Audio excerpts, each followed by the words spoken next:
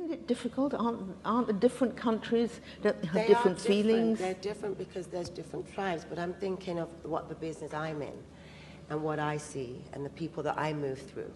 It's music, art, tech, and this is what I see that they could flourish so much more if they were given the opportunities. You all don't realize in this room the difference you could make if you were to make a commitment and a pledge to come in and commit into the infrastructure across Africa. And I'm taking meetings after this, by the way. um, it's, you know, it's, it's not about looking at Africa as a trend now that's a new place to discover. It's like it really, it's always been untapped. And you have to wonder to yourself and whatever companies you have, why have you ignored Africa for this long?